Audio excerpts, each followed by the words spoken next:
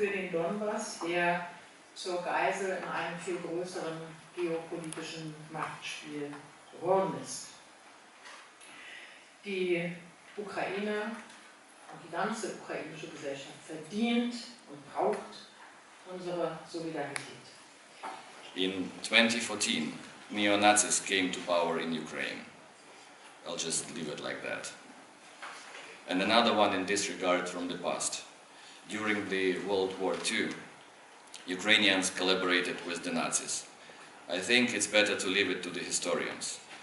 And at the same time not forget about at least 8 million of my countrymen, 2.5 million soldiers and 5.5 million civilians who were killed in that war, making together with those sent to concentration camps, deported uh, and evacuated a total of at least 14 million victims.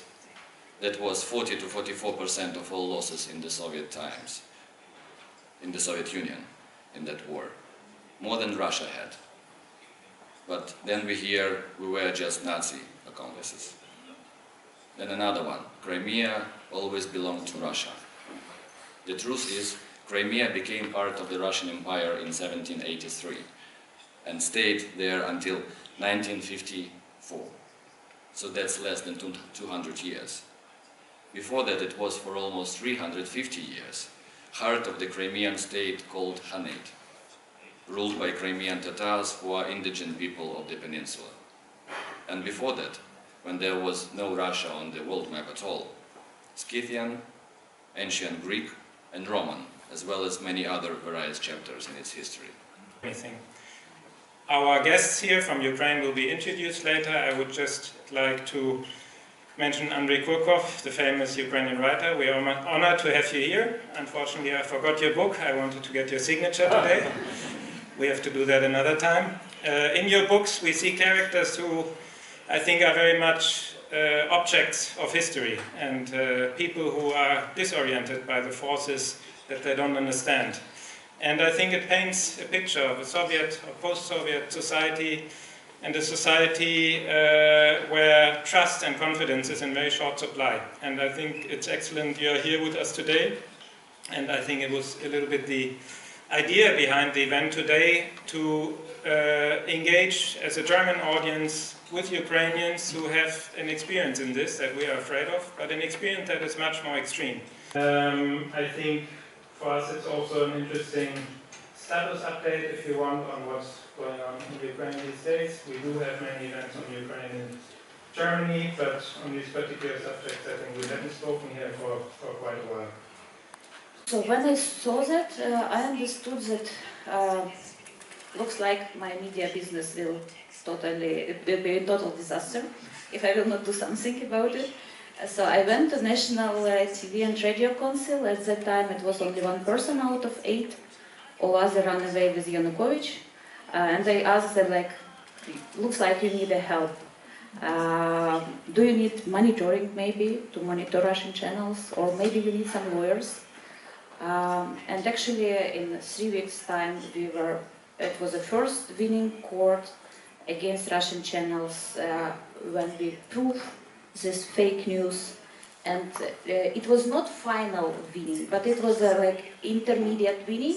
When before the final court, they will be blocked. So it was first court for four Russian TV channels, which was blocked, which was quite easy because at that time they really uh, create very easy uh, dissolving fakes.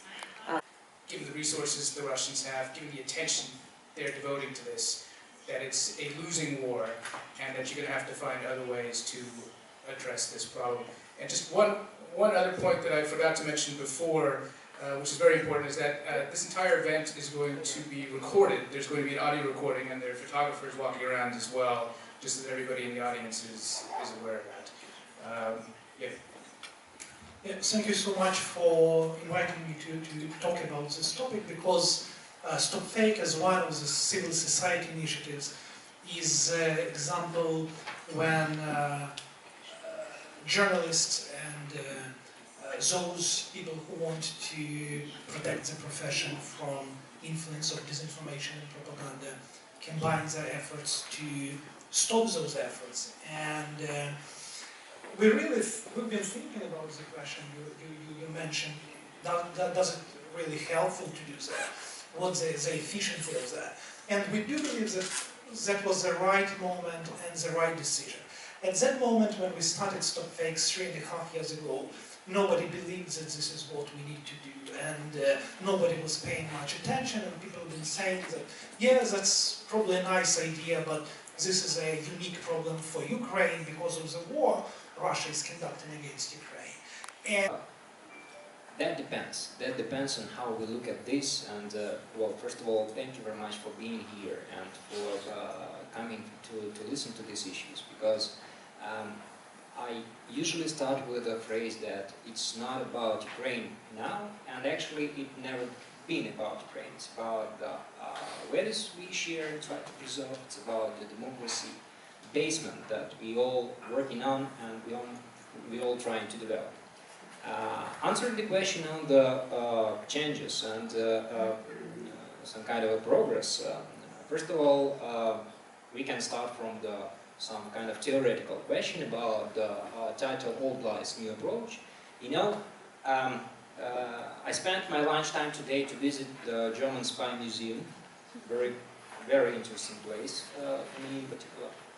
And uh, you know, I've noticed that uh, the, the museum starts with the stories from the um, ancient Greece, ancient Rome, uh, China, and uh, it's uh, the uh, centuries and th- thousands of years ago. And then it goes to the James Bond stories and the new era of Cold War. And the centuries and thousands of years, nothing is changing. Nothing changing in approaches, in ideas, in trying to um, attack people, trying to fool them, and all the and all the stuff. So actually, Ukraine, and you pose the question to yourself, especially well, me as a statesman, as a servant, as a civil servant, what you have done to stop the disinformation activity towards Ukraine? And when the answer is, well, we've done roundtables, conferences, discussions, we've made uh, studies, we've made huge and big reports about trolls, dissemination uh, and uh, uh, different, you know, like talking the talks, uh, then there's very uncomfortable feeling inside that it, it, it wasn't effective, it wasn't sufficient. So the progress is on the place, and it's absolutely obvious. But unfortunately, we're still working on the idea that we have to do more to preserve democracy. We have to do more just to think about the threats that being posed to the uh, values that uh, are in the basement of the democratic development. So what's, what's behind this strategy? I still don't understand why you're throwing out uh, the Spanish journalists, example. Well, uh, let's go then to the uh, question about the journalists and the exclusion of the journalists. Uh, I would be straight with you. Uh, yes, on the uh, question of the uh, deportation of Spanish journalists, Minister of Information Policy sent a request to the uh, security service asking about motivation and giving more information about this. Me personally, I went to their social profiles and uh, articles that they put in the media, and I've seen the facts that were totally wrong. Uh, that doesn't say me that, uh, and I'm not the, the person who may, who, who, who may do the law enforcement to the journalist. But um, as to an politician and as to, to some kind of expert in the information field, to the extent was conducting war, and this was basically what the court decided, so that propaganda was absolutely instrumental to the conduct of the war. And this is basically what guided us through this discussion, what is a danger for national security and what is not. And it's not regulated inside Ukraine, it's regulated outside of Ukraine because we take the decision and can use it. Right. In, in Ukraine, it's a success story and uh, progress. And uh, when I accompanied uh, Minister Gabriel uh, at his trip in March of this year, uh, we of course uh, included in his program a discussion uh, with uh, representatives of civil society, of Ukrainian civil society, and all in all, Minister Gabriel was very impressed with the vibrancy um, of the discussion with civil society representatives. And Uh, Good evening, I'm pleased to be here again. Notice that I've not been here since Euromaidan, and I extremely like the topic which we are discussing. And reflecting on the first panel, I know the answer, how to defeat Putin. Success in Ukraine is the only way to collapse his regime, not creating anti, anti, anti. We will never have more money and resources, but if we would make Ukraine really successful case of changing authoritarian country with huge corruption, with kind of Putin's mechanism everywhere into successful, we should not bother how and what to say to Russian people. They will know next day and Putin is dead. It's easier to say, but it is doable. And I wanted to start from this. What should we focus at to make this doable quicker in time? Uh, in my life, I just happened to be in different, totally different position like Tatiana said. Uh, in, in 26 years of independence, roughly, I spent 50% in governmental position and moved into civil sector. Tatiana didn't want to go into government. I had no choice because I was not member of the party. I'm not businessman, but I'm hyperactive. And I know and I'm really, I, I, I'm, I'm really, uh, can't find good word, polite word. Not polite, pissed off by what happened. And is very much surprised that this water somewhere it disappears. If you don't first disinfect, change the bottle, make sure there are no big holes, how you can provide financial aid? You know the answer I'm hearing? Well, we'll do that when you are candidate country. And then I can imagine what European taxpayers should hear. EU spent billions of financial aid on Ukraine, not bothering of creating institutions which would prevent government from misusing. Moreover, EU has very strong ally with civil society. Any issue discussed, you can always find very reliable assistance here. We something important to do with Heinrich Böll Stiftung in 1993. Uh, I, I, I, 93 yes, and thanks to Heinrich Böll Stiftung, I met Lev Kopelev and we became friends, and I stayed in Langenbroich for five months with his widow, uh, and that was the first time I uh, was uh, trying to understand Germany. I think by now I understand Germany. some of us are still trying, so Yes, I know, yes. Uh, and now uh, to the civil society. Uh, it's not easy to talk af- after hyperactive Oleg Rybachuk, but when I'm asked what is the difference between Russians and Ukrainians, I often say that Russians have in their head one and the same image of great Russia and one and the same love for the Russian Tsar until he's making them unhappy, they kill him and then they love the next Tsar. Ukraine, uh, historically based on the anarchic metrics. Everyone has his own picture of Ukraine in his head and wants to build it, but outside his head. And uh, I have the same sort of now feeling that I have completely different civil society in Ukraine in my head than in Oleg Rybachuk's. Because, I mean, my civil society is not running across the field, is not asking for from Russians. Uh, okay, but uh, anyway, I mean, five-star civil society is a beautiful image. As a writer, I can give you five out of five, yes. But uh, I think we are talking about uh, only one part of civil society, because for me, civil society is much bigger than those who are hyperactive and are in touch with Brussels and are involved in economical reforms or in attempts to change politics in the country. Uh, uh, started by Americans of Ukrainian descent and some Belgians and Swiss who came and explained to Ukrainians that they should also care about the animals.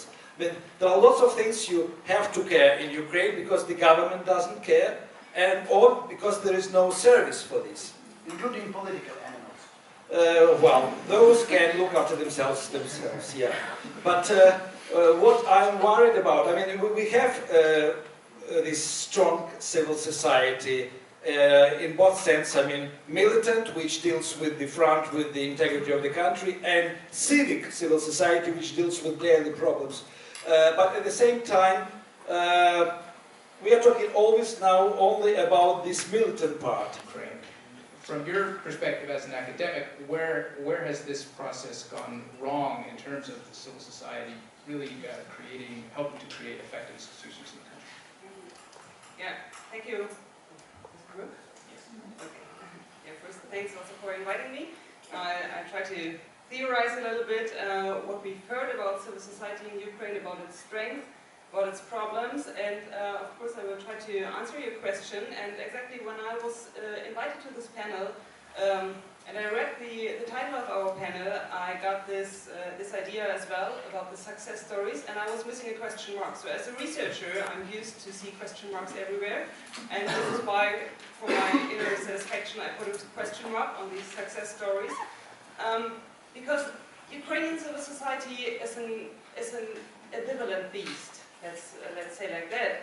Um, it is strong and it is weak at the same time. It is strong in that sense that um, since decades, um, Ukrainian civil society is one of the most active and the most vibrant in the Eastern, uh, in, in Central and Eastern Europe. Already in the uh, USSR times, or during these times, for example, the dissident movement in the USSR was mainly very strong in the Baltic states and in Ukraine. Among all the political prisoners uh, who were imprisoned in the USSR, uh, Ukrainians were much, were, were very obviously um, more represented than dissidents and people and political prisoners from any other Soviet rep republic. So there is a certain strength of the Ukrainian civil society since decades, and since decades civil society in Ukraine is used to bring people to the streets, to organize campaigns, to be very active in um, starting revolutions, in starting campaigns. I mean, you are all pretty much aware about the, the movements during the 80s, for example, the Donbas miners' strikes, then we had the, the Granite Revolution in 1990, 1991. Um, number of, of um, or the, the share of people from Ukraine who are engaging in volunteer organizations and initiatives is um, can be counted as 13%. So 13% of the Ukrainian population is active in volunteer organizations and initiatives.